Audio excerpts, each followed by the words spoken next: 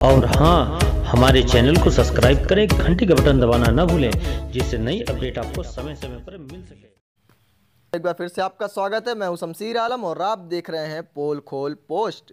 भाजपा द्वारा वीर सावरकर को भारत रत्न देने का वादा करने के विरोध में इंदौर में कुछ पोस्टर लगाकर विरोध जताते हुए कांग्रेस ने उन्हें गद्दार बताया गया है। उनके द्वारा लिखा गया है, माफ़ीनामा भी पोस्ट में दिखा हुआ है। इंदौर में कुछ पोस्टर दिखाई दिए हैं जिसमें लिखा है, भारत माता इन्हें क्षमा करना। यह आज़ादी के आंदोलन में आपसे गद्दारी करने वाले सावरकर को गोडसे समर्थक भाजपा द्वारा भारत रत्न देने का संकल्प लिया है। इन्हें सद्बुद्धि दें।